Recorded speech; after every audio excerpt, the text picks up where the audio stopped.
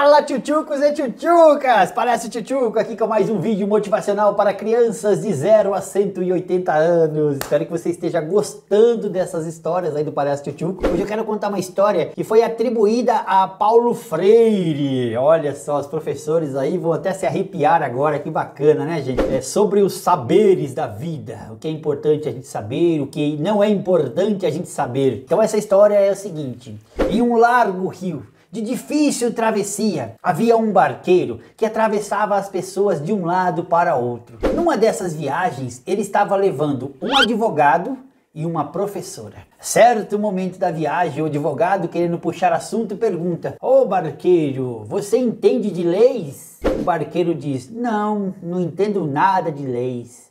Aí o advogado fala: Ah, que pena, você perdeu metade da sua vida. Eu tô rindo porque eu já sei o final da história, né? Aí a professora, né, entra na história, na conversa e fala assim: Barqueiro, você sabe ler e escrever? O barqueiro fala: Não sei também. Aí a professora fala: Ah, tadinho, você perdeu metade da sua vida. Aí, rapaz, naquele momento veio uma onda tão grande, tão forte e virou o barco deles. Nesse momento o barqueiro falou assim: Vocês sabem nadar? A professora e o advogado falou assim: Não, nós não sabemos. Aí o barqueiro ficou com dó, coitadinhos. Vocês perderam a vida toda de vocês.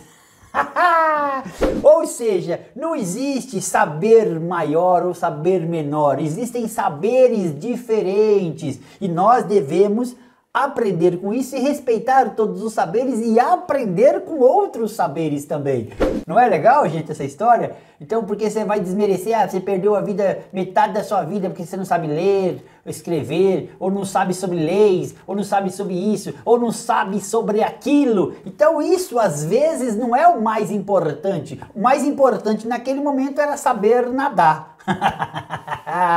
então essa foi a mensagem aí de hoje do Palestra Truco para que você reflita. E ó, não se esqueça, deixe um like, se inscreva no canal, ative o sininho das notificações e sempre teremos vídeos aqui, você já vai ficar sabendo quando eu postar um vídeo novo. E muito obrigado pela sua presença, pelo seu carinho. Um forte abraço para você, um grande beijo. Fique com Deus, fique em paz e até já no próximo vídeo.